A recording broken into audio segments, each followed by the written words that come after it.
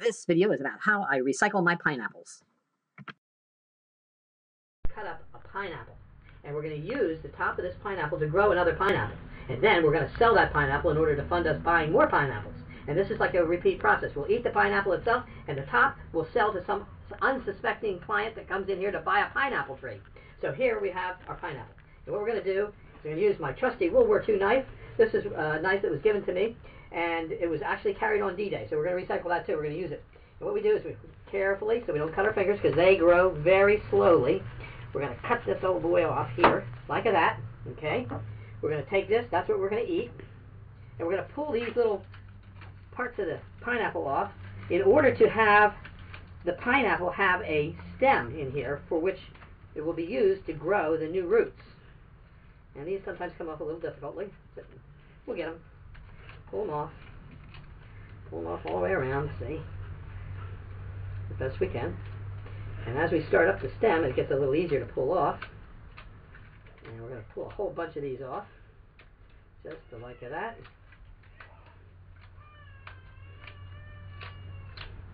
Opening up the stem, so you see a nice stem there.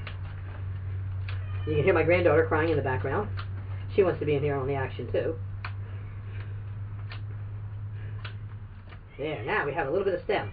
Now I'm going to recycle my Manhattan bagel cup by putting this into it. Now what I want to do is I want to let this into the cup a little bit, not all the way. As you see, it's getting completely inundated. I just want this part of the uh, stem to be wet.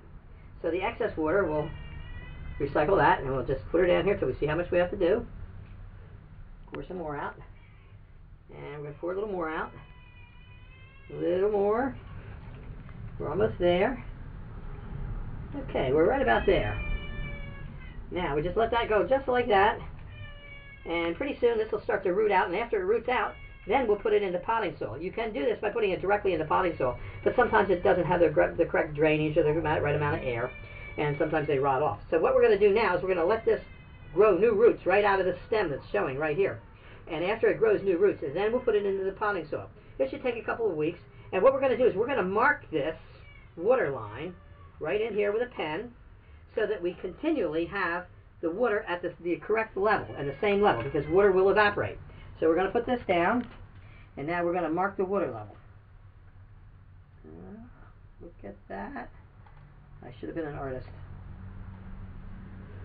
Well, I am an artist of such, such types. There we are, just like that. Now we know where the water belongs.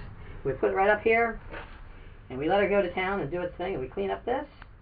This mess will be thrown out, and this will be eaten. These cost me, what, two for five dollars more? Yeah, two for five dollars. And I'll sell this for ten dollars. So I'll get for each one of these I eat, I get two more after I sell it. Yes, and you can get them at Highland Hill Farm on Route 313 in Fountainville, PA. We have all kinds of trees and shrubs. And if you just look around in this little room here, you can see we root and grow lots of little plants. And we also grow big trees out in the field. Again, call us at 215 651 8329. This is Bill at Highland Hill Farm. Thank you. If I get better for you.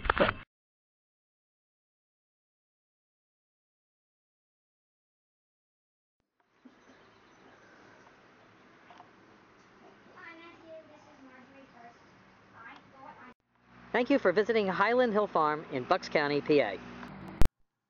These are native elderberries that we're growing here at Highland Hill Farm.